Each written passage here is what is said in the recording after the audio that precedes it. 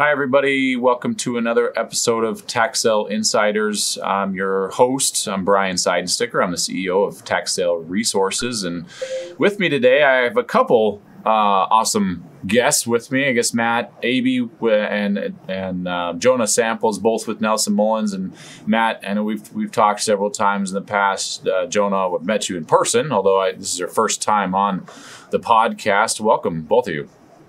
Yeah, thanks for having us yeah, thanks for thanks for coming on. As there's there's uh, very rarely in this industry have I ever said it's exciting times, but I think this is one of the the few times you can uh, legitimately say that and be true.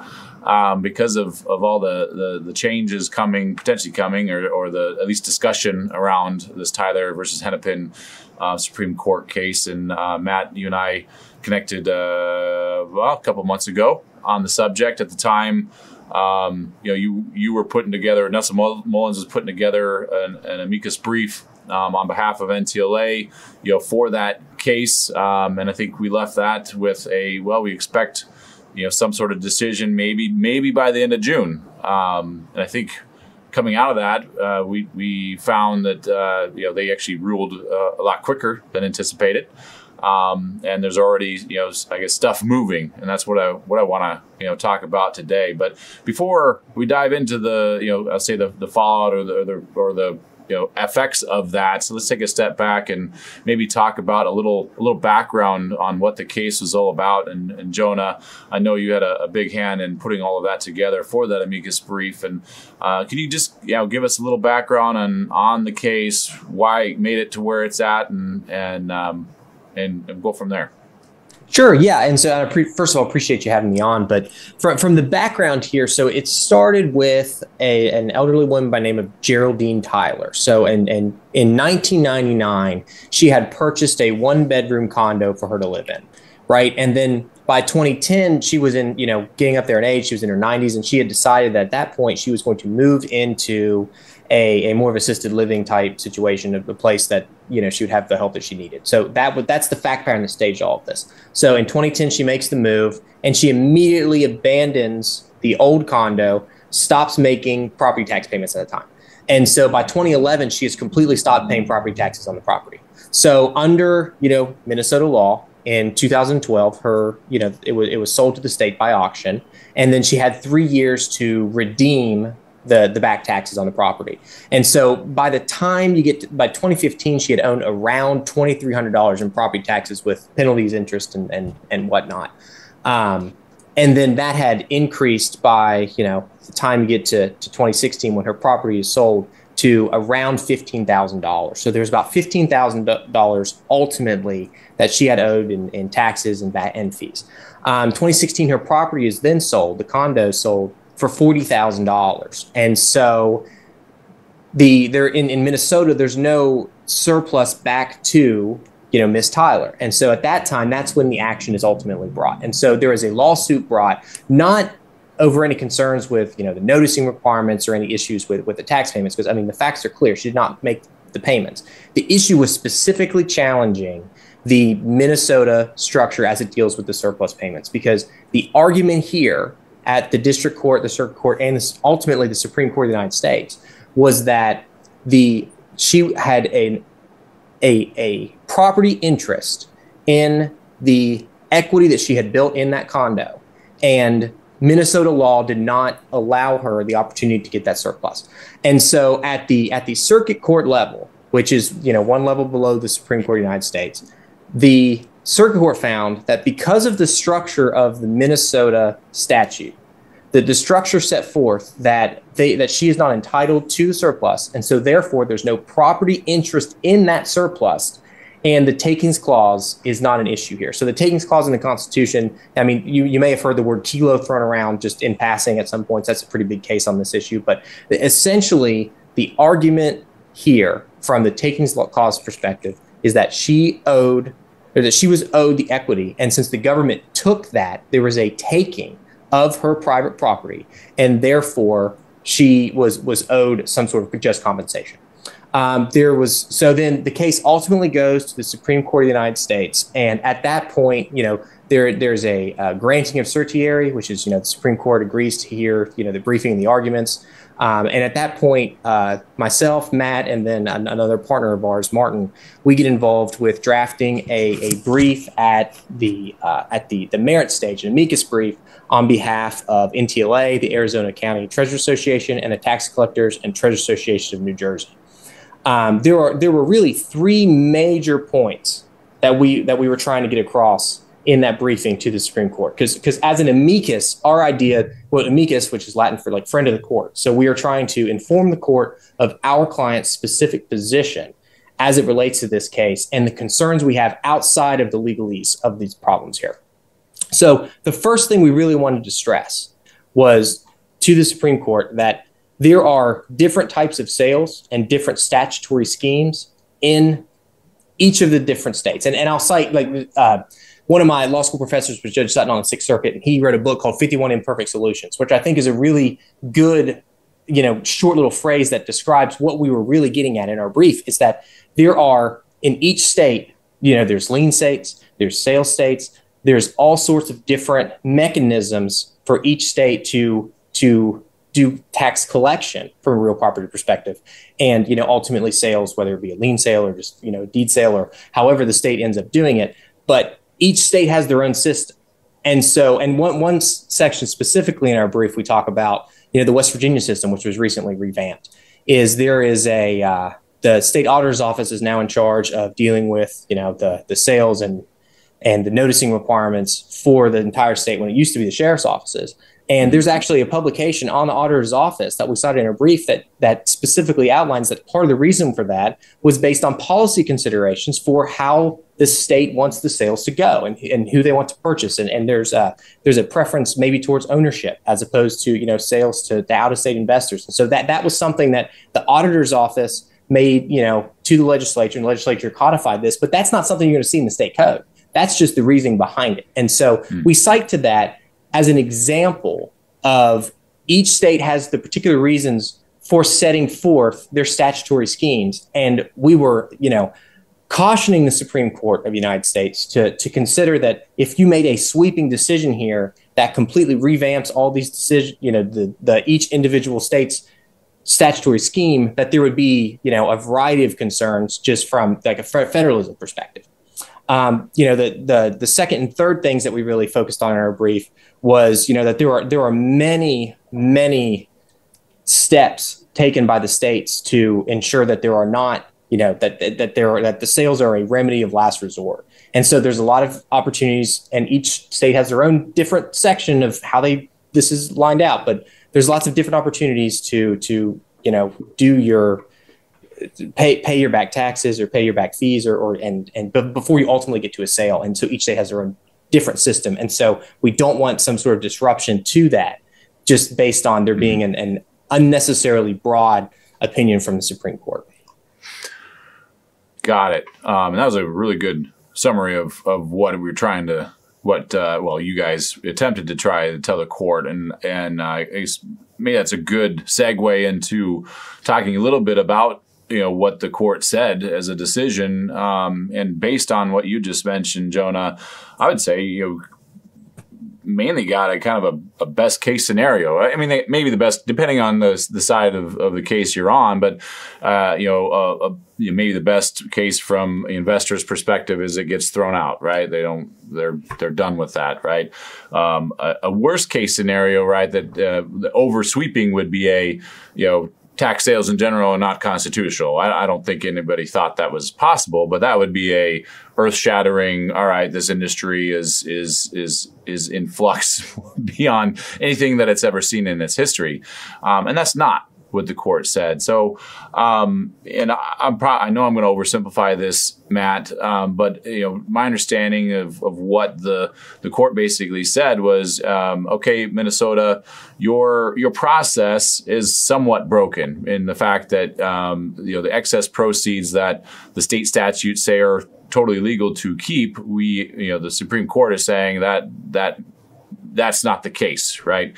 But they didn't go anything beyond that as far as you know. It has to be this way. It has to. I, I think um, I, I, like to think that maybe they listened to your your you know three bullet points of please don't make this over over overarching because each state is different each state has its own process and and if you are too broad in this statement you will have much larger ramifications from that and i i think uh, i like to think maybe the court listened to that and said okay we're going to make a decision and we're going to keep it as focused to what we think the key issue is which they had said is the is the the the state, right, in that case, or the county keeping those excess proceeds, or not. I get. I don't think they even that was the issue. Is that they didn't make it available for the previous owner to at least have an option, right? So I know I'm probably oversimplifying that, Matt. Um, so help help me and the listeners better understand what exactly the court said.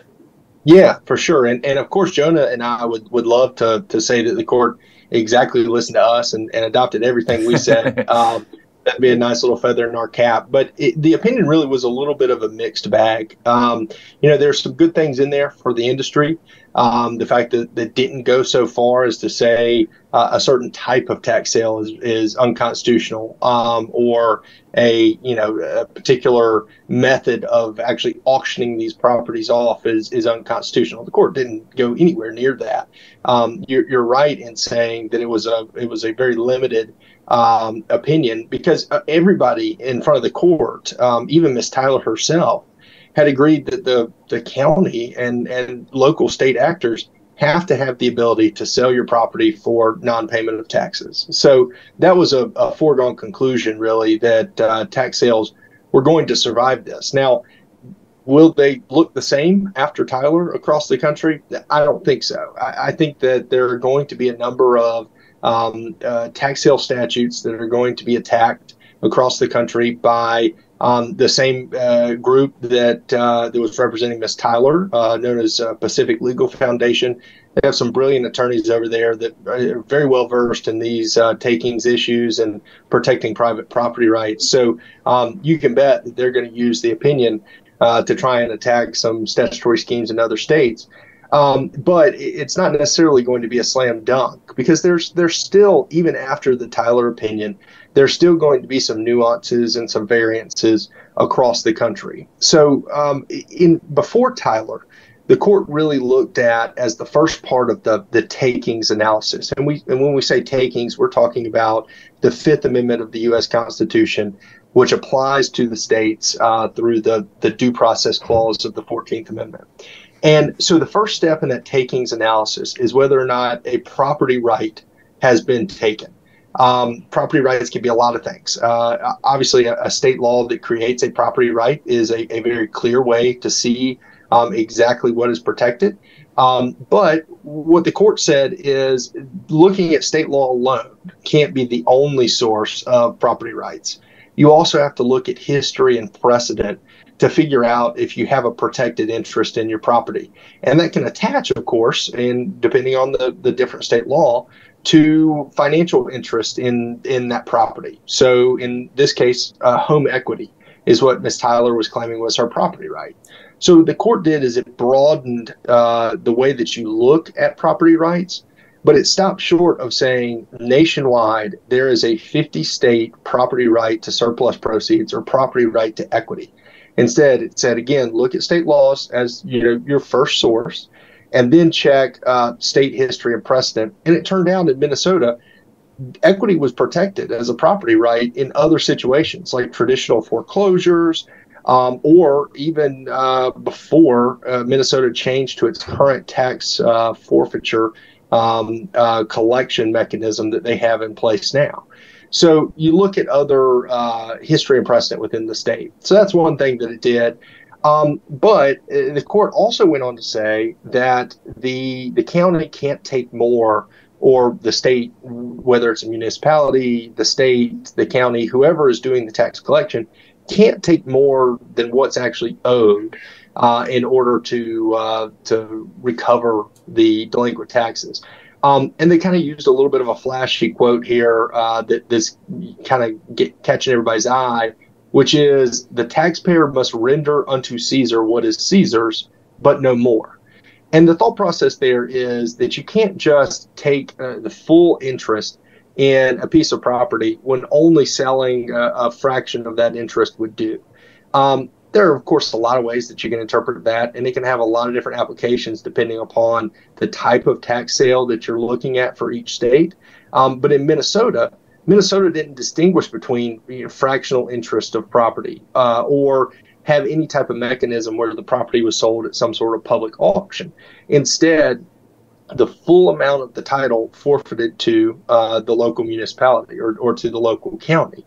And so that meant that Caesar was getting paid more than what Caesar was owed. And the court said that that's a, a classic taking uh, without just compensation. Um, but of course, the court didn't determine what the just compensation was, you know, what Ms. Tyler was owed. It didn't tell us how to calculate that just compensation. It also didn't tell us who would have to pay the just compensation. Um, so it remanded uh, the case or, or sent the case back down to the lower courts to apply its opinion and figure out those other kind of authority mm-hmm. issues and, and, and, how the opinion would be applied. Um, but essentially, what the court's doing is you, you got to look back at traditional property law principles uh, in order to figure out if there's a protected interest at stake here as your, your first part of the analysis. And that expands from just looking at whatever state law is on the books. You got to look a little bit broader uh, than that for uh, for a, a post Tyler taking.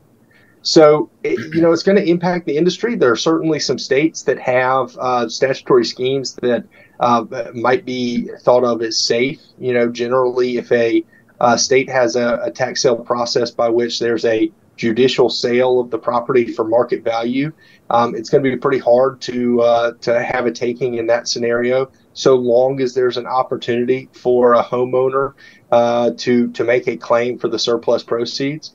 But then there are also some that are that are kind of a, a middle ground, right? That are that are maybe on the maybe on the margins a little bit, where there's a type of judicial sale, but it's not really for fair market value.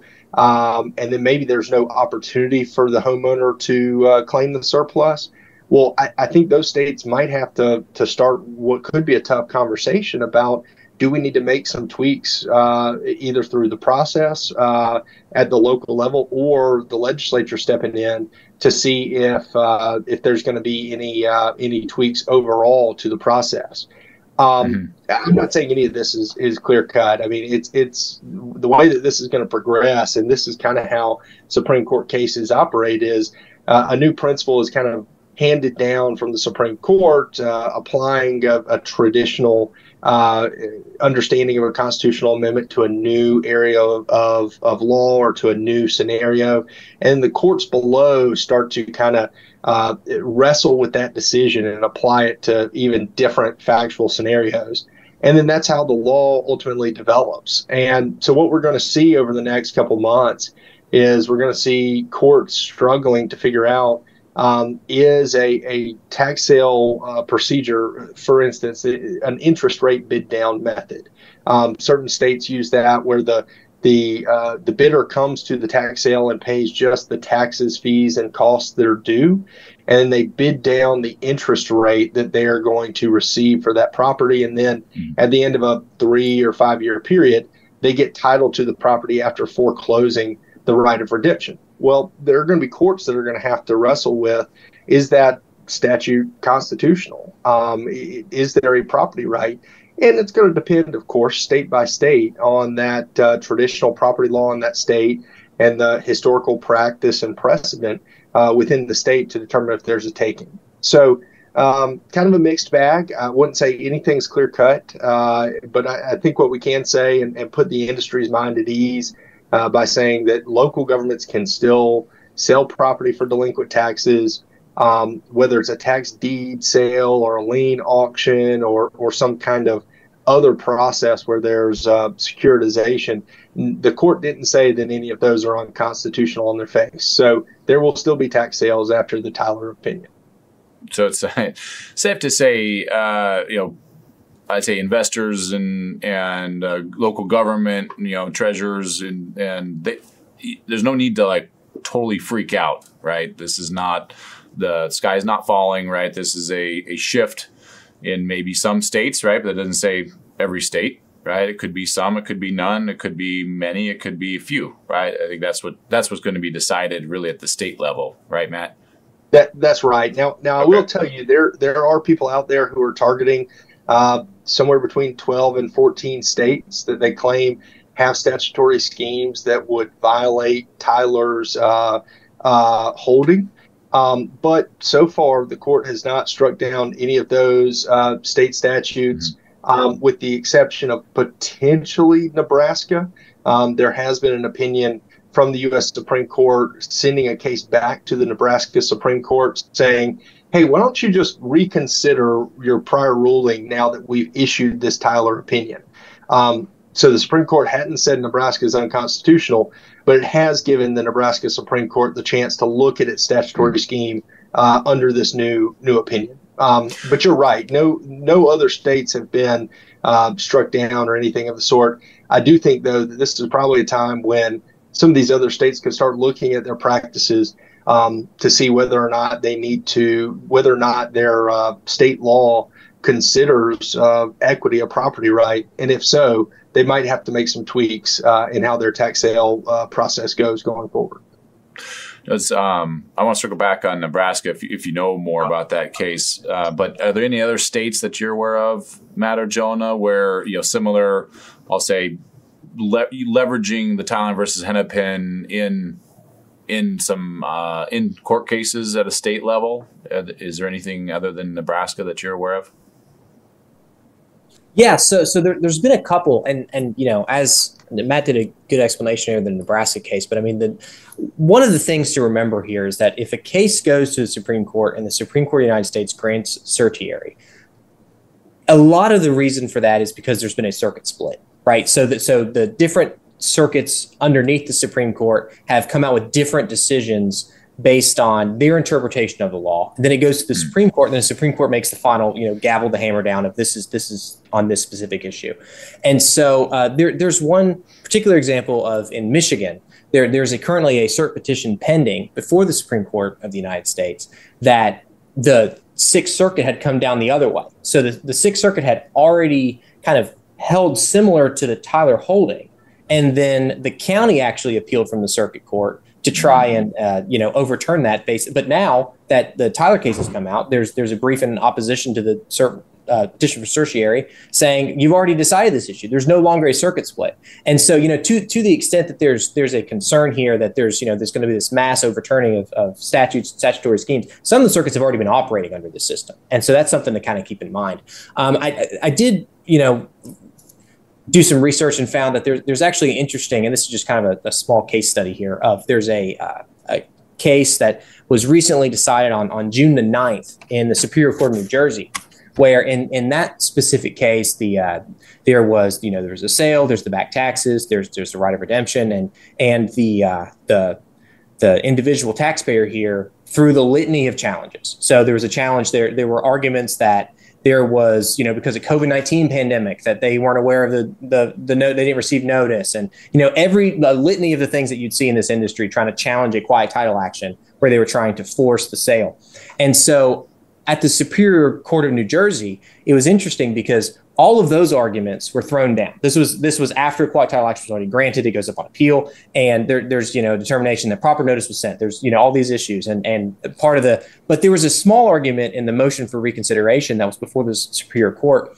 that had an ex you know part of it was I looked at literally I looked at my house on Zillow and I think it's worth this much, and so now like I, I, I should see that equity, and so the the state court issued an opinion remanding it down based on the Tyler case. Now, I, the the remand doesn't say you know you, that there's the New Jersey statutory scheme is you know illegal or there's some big issue. All it says is that now we need to consider this. And so this kind of hits on Matt's point when we talking about the Nebraska case earlier is is there's you're gonna you're probably gonna see a lot of remands down to where I need you to specifically consider trial court, you know, intermediate court these issues that were raised in Tyler to determine whether or not your statutory scheme violates the, the takings clause as analyzed by Tyler. So you've got, you know, the, the three examples we kind of we've kind of pulled here that Matt was talking about is there's the you know there's the Nebraska case where that went up to the Supreme Court and that's already been mm-hmm. remanded down. There's cases that were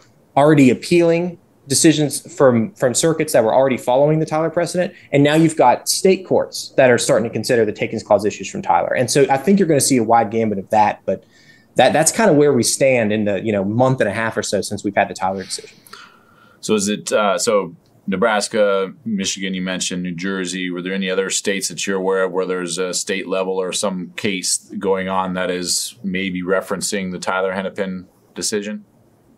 As yeah, of today so, anyway. I'm sure there'll be more, well, but as of today. Yeah, as of today, those are those are the three main ones. Um, but but one thing you can't just look at are, are the cases, right? So right. there are certainly those. It, the this Tyler opinion is going to percolate is the the phrase a lot of attorneys use. Percolate through the lower courts um, until we figure out exactly what the the breadth of the decision is. But then you also got to look to state legislatures. Are they going to start making tweaks? And we know of uh, bills that at the time of the uh, the court was considering the Tyler case, we knew that there had been I don't know five bills that were introduced in New York to change the statutory scheme. We knew that there was one pending, I believe, in South Dakota. And then in the wake of Tyler, there have also been bills introduced in other states. I know New Jersey has a bill that's pending right now, which make a minor tweak to its process. Um, mm-hmm. And so you're gonna you're gonna see this decision is going to impact not only the state courts and the federal courts, but also the state legislatures as they try to make uh, some changes to uh, to address the decision. Um, so you know it's it's interesting though because the Tyler opinion doesn't really deal with um, the front end of the tax sale process. It deals somewhat with the, the back end about how the the uh, proceeds that are uh, obtained through the tax sale process then are distributed. And so, to some extent, that's hard to go back and fix um, for tax sales that have already occurred. Um, mm-hmm. But the court didn't exactly say that any one process is is correct uh, or unconstitutional, and it also didn't say what happens to the tax sales that have already occurred. So we're going to see a lot of activity in the uh, in this arena going forward, um, not just to, to tweak the the procedures in each uh, state that might be impacted going forward, but also trying to figure out how trying to figure out how the uh, cases are going to uh, change the thing uh, for tax sales or change the process for tax sales that have already occurred.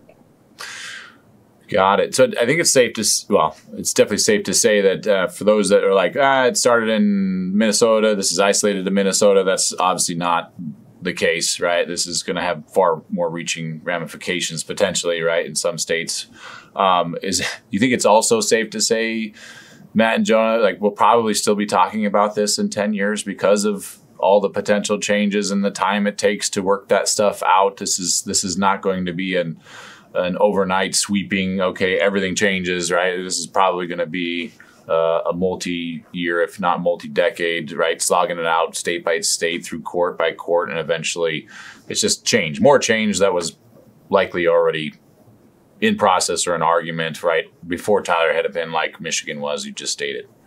Is that safe yeah, to say? That, that, that is, and, and we know that um, state legislatures have been making some small tweaks uh, to their tax sale procedures as they, they deal with surplus proceeds or as Jonah mentioned, West Virginia doing a complete overhaul uh, for modernization and other reasons. And so um, this was kind of uh, already in the works behind the scenes and, and on a state by state basis. Um, I think this might speed up some of those changes in uh, in some of the states where uh, the tax sale procedure is already somewhat under attack. Um, but it doesn't mean that tomorrow uh, the tax sale statute is going to just completely be rewritten in whatever state you're investing in. Um, right. It's going to be a process that takes some time, um, but it is going to change the way that the tax sale industry looks at tax sales and looks at the constitutionality of them. Because for a while we used to think, well, if you got good notice uh, before the tax sale and you had all these resources that were available to help somebody avoid losing their home at tax sale. Well, they got due process, and so that was the end of it. But the Tyler case says, you know, due process is one thing, um, and the ability to, for instance, sell your home before a tax sale to protect your equity, that's one thing, but that's not a substitute for the just compensation that you're owed if a taking occurs. So, um, Tyler's going to change the way that we look at tax sales and think about them. Um, but as you said, not going to be overnight. Right. And I, I did uh, just a couple interesting pieces. Well, for anybody that's active in West West Virginia, um, I am talking to uh, Randy Saunders, also part of the Nelson Mullins group, Matt and uh, Jonah know him well, but uh, we'll be talking about West Virginia um, in an upcoming episode as well because of the sweeping changes there. That was totally unrelated to Tyler Hennepin. It's just changes that they made. Um, and then I also was speaking um, separately to uh, Stephen Morrell, who's active in the committee that was already changing their statutes down in, in Louisiana, also totally separate from um, Tyler versus Hennepin. But because of Tyler versus Hennepin, they decided, hey, maybe there's a couple tweaks that we could make that would make it uh, more in line with the outcome of, of Tyler versus Hennepin. So they're being very proactive, and I think it's just good good practice, right, for um, you know folks that are looking. If the hood's already open, right, and if there's some changes that might be made to to make it more in line, right? It might save a whole lot of heartache later if you can make those changes now versus re, rehashing it over and over in, in future court cases. Um, that's I'm not an attorney, but that's just my opinion. But um, I guess uh, Matt, Jonah, um, I one want to thank you guys for your time, not only on this, putting together the amicus brief and all the, the effort you guys have put in so far. Um, I'm sure we'll be talking about this again for many years. Um, is there anything else you think is, is critical for our, our listeners to, to know as of today? Uh, no, I, I, don't think so. I think it's just something from an industry perspective. Um, it's an, an, invitation to be proactive, um, whether that's proactively involved in your state legislatures and trying to uh, uh, discuss changes that might be needed, or it's proactively looking at your portfolios and, and trying to uh, measure this risk and, and bake it into your analysis. I think it's better to do that uh, on the front end than um, try to be uh, on the try to try to fix everything on the back end when uh, you're you're already stuck. So mm-hmm. uh, being proactive, I think, is going to help us in the industry, um, and might avoid a situation where we're in front of a court trying to explain to uh, a number of judges or justices that have never dealt with the tax sale industry before and trying to explain to them what the procedure's like. Um, so I think it's something we can all get out in front of.